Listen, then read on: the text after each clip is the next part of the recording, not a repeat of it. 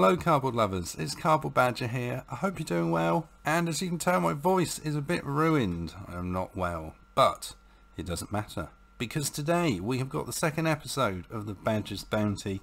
Very excited to be doing this again. So I'd firstly like to say thank you very much indeed for Surly Badgersaur pledged here. Mad Dad 316 because without you we would not be doing this video. So thank you very much indeed and if anyone else would like to take part in this for the next episode at the end of next month. Um, I'll put a link in the description below for you to check out. So, what are we doing? We are going to be opening up the treasure chest full of foils. Uh, we're going to be giving 10 of these from various categories and delivering them to your door. Worldwide, doesn't matter where you live, we will send them to you. So, we are going to start off with the basic land slot. I might put this to the side. Oh, I don't know. Let's leave it there and hopefully we will get everything in focus. Right, so we are starting off with our basic lands. So, one basic land, where are we going to pick it from? Let's go near the end. Let's try there. So we have one card.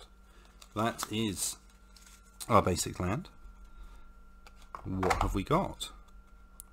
We have got one forest. Very, very nice indeed.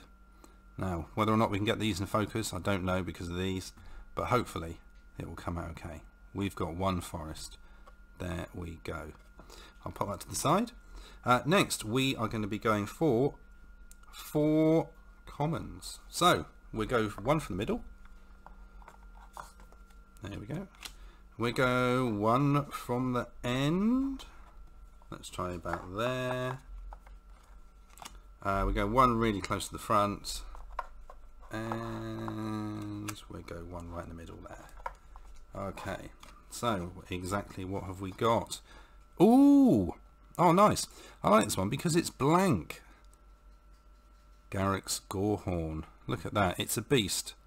It's a 7-3. So it's got the different framework and no text. Uh, that is pretty nice. So that is our first common, followed by we have got Seismic Shift. Our sorcery, destroy target land. Up to two target creatures can't block this turn. And our third... Oh, nice. We have got Blight Keeper. We have got a Bat Imp. 1-1 flyer. There we go. Very nice foil indeed. And the final common. We have got Malevolent Noble. Oh, look at the hands on that. That's pretty good. So we've got a Human Noble. 2 2 for 2. Right, up next we are going to be doing the three uncommons. So again, we will go one from slightly in the middle. We'll go one near the end and we shall go one pretty close to the front. Okay, so let's have a look and see what we are going to get this time. Uh, we have got, hey, focus, Arcbound Shikari. Very nice indeed. Cat Soldier with First Strike. Very nice indeed. So, that's our first uncommon. Our second uncommon. What have we got? Ooh, we got a construct. Iron League Steed. Kaladesh. It's got haste, it's got fabricate, and it is a 2-2 for 4. And our final, final uncommon. We have got Siege Modification. 3 mana. Very nice indeed. We've got an enchantment aura. That is not bad at all. First strike plus 3 plus 0. And that is the next card. Right, next we have got in the rare or mythic slot. What are we going to find? Let's take them all out and fan them out. I'm going to go middle-ish, I think.